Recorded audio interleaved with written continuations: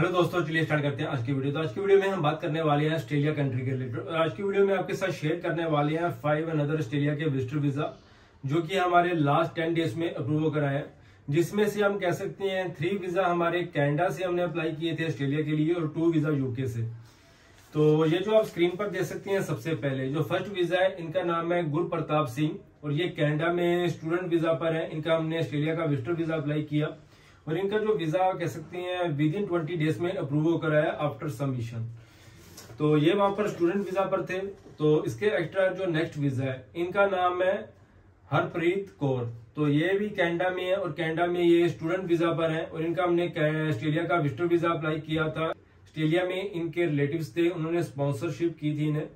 तो इनका जो वीज़ा कह सकते हैं विद इन फिफ्टीन डेज़ में अप्रूव करा है।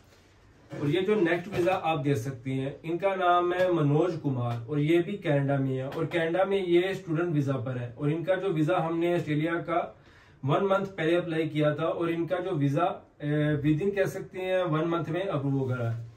और ये जो नेक्स्ट वीज़ा आप दे सकती हैं, इनका नाम है परवीन सिंह और ये कह सकते हैं करंट टाइम में यूके में है स्टूडेंट वीज़ा पर है और इनका वीज़ा हमने ऑस्ट्रेलिया का विजिटर वीज़ा अप्लाई किया था और इनका जो वीज़ा है ये विद इन कह सकते हैं ट्वेंटी फाइव डेज़ में अप्रूव करा है।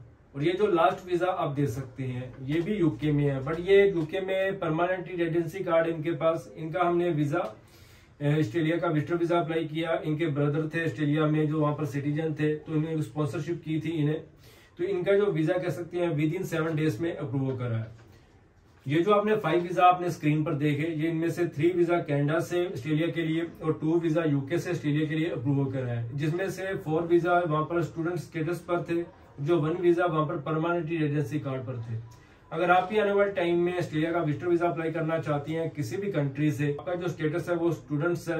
आप यूके में है यूके से आप ऑस्ट्रेलिया के लिए मूव होना चाहते हैं, वहाँ पर जाकर आप स्टडी वीज़ा में कन्वर्ट करना चाहते हैं। और या फिर आप कनाडा में है कनाडा से ऑस्ट्रेलिया के लिए मूव होना चाहते हैं, वहाँ पर जाकर आप स्टडी वीज़ा में कन्वर्ट करना चाहते हैं तो ये आपके लिए बेस्ट टाइम है। क्योंकि आज के टाइम में जो ऑस्ट्रेलिया में आप जाकर उसे स्टडी वीज़ा में कन्वर्ट कर सकते हैं। बट आने वाले टाइम में हम कुछ कह नहीं सकते, आने वाले टाइम में कुछ रूल्स में कुछ चेंजिंग होती है। वहाँ पर जाकर आप स्टडी वीज़ा में कन्वर्ट करना आज के टाइम में अलाउ है बट आने वाले टाइम में अगर रूल में कुछ चेंजिंग होती है तो वो आपको बंद कर देते हैं। फिर आप वहाँ पर जाकर ऑस्ट्रेलिया में स्टडी वीज़ा में कन्वर्ट नहीं करवा सकते। बट ये आपके लिए बेस्ट टाइम है। आज ये आप विजिटर वीज़ा अप्लाई करते हैं ऑस्ट्रेलिया में जाकर आप उसे स्टडी वीज़ा में ज़रूर कन्वर्ट करवा सकते हैं। तो इसके लिए अलग से प्रोसेस है, वो भी मैंने लास्ट वीडियो मैंने अपलोड की थी। उस वीडियो का जो लिंक है, मैं इस वीडियो के डिस्क्रिप्शन में मैं दे दूँगा। आप वो वीडियो भी दे सकते हैं, वहाँ पर जाकर कैसे आप स्टडी वीज़ा में कन्वर्ट करवा सकते हैं क्या क्या प्रोसेस है।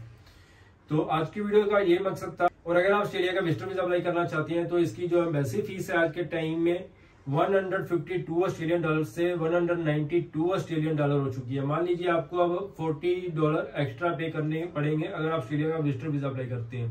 जैसे कि लास्ट वीक में इसकी जो एम्बेसी फ़ीस थी वो 152 ऑस्ट्रेलियन डॉलर थी। बट करंटली कह सकते हैं 192 अब कर दी है।